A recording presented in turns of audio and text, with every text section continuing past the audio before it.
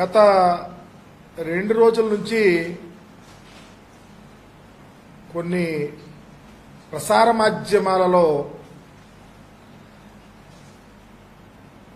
ఆంధ్రప్రదేశ్లో ఎస్సీ ఎస్టీల మీద దాడులు పెరిగినాయి.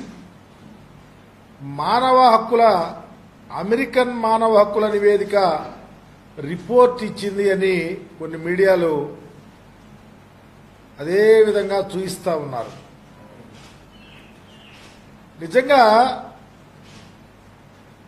గత పది సంవత్సరాలను చూసుకున్నా అంతకుముందు చూసుకున్నా ఇప్పటికీ ఈరోజు ఇరవై నెలల వైఎస్ఆర్ కాంగ్రెస్ పార్టీ ప్రభుత్వం అధికారంలోకి వచ్చిన తర్వాత దళితుల మీద ఎలాంటి దాడులు జరిగినాయో ఎలాంటి అగత్య అఘత్యాలు జరుగుతూ ఉన్నాయో ఏ విధమైన మేలు జరుగుతూ ఉందో ఏ విధంగా సంక్షేమ పథకాలు దళితుల ఇళ్ళ తలుపులు తడతా ఉన్నాయో ప్రజలందరూ చూస్తూనే ఉన్నాం.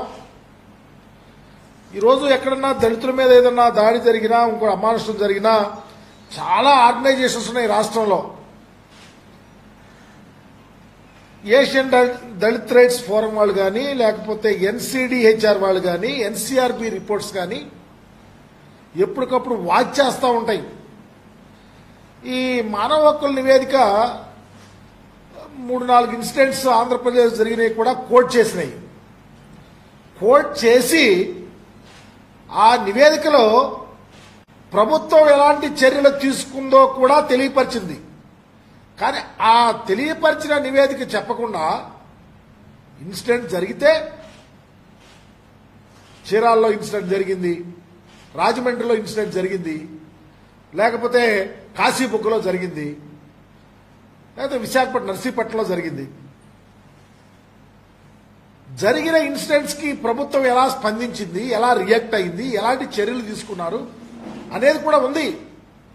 అవి చూయించకుండా ఏదో గగ్గోలు పెడతా ఉన్నాయి కొన్ని మీడియాస్. నేను చెప్తా ఉన్నా నేను దళితుడుగా ఈ రాష్ట్రంలో దళితుల హక్కులను కాపాడటానికి ఉన్నటువంటి రాజ్యాంగబద్ధమైనటువంటి పదవిని కంబైన్ స్టేట్స్లో కమిషన్ చైర్మన్గా పనిచేశా. ఎస్సీ ఎస్టీ కమిషన్కి చైర్మన్గా.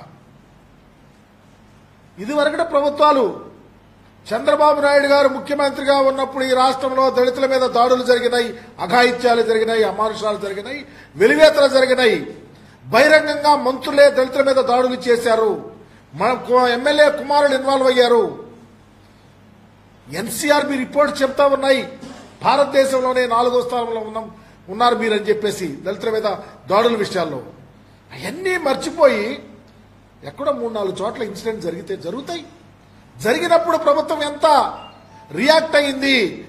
చివరికి పోలీసుల మీద కూడా కేసులు పెట్టి అరెస్ట్ చేయించి వాళ్ళ మీద చర్యలు తీసుకున్న పరిస్థితిని ఎందుకు చెప్పలేకపోతా ఉన్నాయో లేకపోతే తెలుగుదేశం పార్టీలో వాళ్ళు ఎందుకు చెప్పలేకపోతా ఉన్నారో అర్థం కానటువంటి విషయం. అయితే వారి నైజం మాకు తెలుసు. దళిత వ్యతిరేక నైజం కాబట్టే ఆ మీడియాలు కూడా దళిత వ్యతిరేక నైజంతోనే పనిచేస్తా ఉన్నాయి కాబట్టి చెప్పలేకపోతా ఉన్నారు. కాబట్టి ఇదివరకు జరిగినటువంటి మసిపూడ్చి మారేడికాయ చేసి ఏదో చూయించాలని చూస్తే ఈ రాష్ట్రంలో ఈ రాష్ట్ర ముఖ్యమంత్రి స్వయానా దళిత బంధువు. దళితుల హక్కులు చేర్చుకున్న వ్యక్తి దళిత సంక్షేమాన్ని కోరే వ్యక్తి దళితులకు అండగా ఉండే వ్యక్తి అలాగే దళితులు కూడా ఆయనకు అండగా ఉంటున్నారు. కాబట్టే ఈరోజు జగన్మోహన్ రెడ్డి గారి మీద మరి వ్యతిరేకంగా ఈరోజు ఈ మీడియాలు చూపిస్తా ఉన్నాయి. ఇకపోతే తిరుపతి పార్లమెంట్ ఎన్నికలు. నిజంగా ఎన్నికలకి శాసనసభ్యుడిగా వైఎస్ఆర్ కాంగ్రెస్ పార్టీ ఎస్సీ విభాగానికి అధ్యక్షుడిగా నేను ఇక్కడికి వచ్చి చూస్తా ఉన్నా. తిరుపతి ఉప ఎన్నికల్లో వైఎస్ఆర్ కాంగ్రెస్ పార్టీ తాను ఈ మంచి పని చేశాను మేము ఇదిగో ఈ విధమైన సహాయాలు చేశాము. డైరెక్ట్గా ముఖ్యమంత్రి గారే ఇంటింటికి ఇదిగో ఈ సహాయాలు ప్రజలకు చేశాము మాకు ఓట్లేయమని చెప్పేసి అడుగుతా ఉన్నాము. తప్పేమి లేదు. కానీ తెలుగుదేశం పార్టీ కానీ బీజేపీ పార్టీ కానీ ఎందుకు ప్రజల్లోకి వెళ్ళి ఇది చేశాము అని చెప్పలేకపోతున్నాయో చెప్పమని అడుగుతా ఉన్నా నేను. ఎందుకు చెప్పలేకపోతా ఉన్నారు? మీరు నిజంగా పేదలకు పేద ప్రజలకు సహాయం చేస్తే మీరు అధికారంలో ఉన్నప్పుడు సహాయం చేస్తే మీరు అధికారంలో ఉన్నప్పుడు ప్రజలకు అండగా ఉంటే ఈరోజు ధైర్యంగా తిరుపతిలోకి వెళ్ళి ఏడు నియోజకవర్గాల్లో మాకు ఇదిగో మేము ఇది చేసాం సహాయం చేయమని అడిగే వాళ్ళు కాదని అడుగుతా ఉన్నాం. మేము సహాయం చేశాం కాబట్టే ఈరోజు ధైర్యంగా మొక్కు ఓని దీక్షతో గెలవబోతున్నామని చెప్పి ప్రజలను అడుగుతా ఉన్నాం. ఈరోజు చూస్తా ఉన్నాం. నిజంగా చంద్రబాబు నాయుడు గారి జిల్లా చిత్తూరు జిల్లా. చిత్తూరు జిల్లాలో నీ సొంత జిల్లాలో నీ సొంత నియోజకవర్గంలో పొట్టెంతుకు పోయింది. నీ సొంత జిల్లాలో పంచాయతీ ఎన్నికలు ఎందుకు ఓడిపోయావు. మున్సిపాలిటీలు ఎందుకు ఓడిపోయావు? చివరికి నీవు చంద్రగిరి ఎందుకు వదిలేశావు? నీ కుమారుణ్ణి మంగళగిరిలో ఎందుకు పోటీ చేయించావు? మా నాయకుడిని పులివెందల మా నాయకుడి జిల్లా కడప నాలుగు దశాబ్దాల నుంచి కడప జిల్లాలో ఏక ఛత్రాధిపత్యంగా కడప ప్రజలకు అండగా రాజశేఖర రెడ్డి కుటుంబం ఉంటుంది కాబట్టే మా జిల్లాను చెప్పుకుంటున్నాం. మా జిల్లాను చెప్పుని పరిపాలన చేస్తా ఉన్నారు. మీకెందుకు ఆ చేతగారి తనం వచ్చి చివరికి మంగళగిరిలో పోటీ చేయించేవో నాకు అర్థం కావట్లా. ఈరోజు చూస్తా ఉన్నాం ఇంకొక ఆయన పవన్ కళ్యాణ్ గారు. ఆయన బీజేపీ గురించి చెప్పిన డైలాగులు మనందరికి తెలిసినయే. ఎందుకు బీజేపీతో కలుస్తున్నాడు? ఎందుకు తెలుగుదేశం పార్టీతో కలుస్తున్నాడు? ఎప్పుడు ప్యాకేజ్ తీసుకుంటున్నాడు? ఇవన్నీ రాజకీయాల్లో ప్రజలందరూ తెలుసుకుంటా ఉన్నారు కాబట్టే ఈరోజు అతన్ని కూడా తిరస్కరిస్తా ఉన్నాం రాష్ట్రంలో ఉన్నటువంటి ప్రజానీకం. ఈరోజు ఇక బీజేపీ. బీజేపీ ఏ ముఖం పెట్టుకొని తిరుపతి వచ్చి తిరుపతిలో ఓట్లు అడుగుతాది?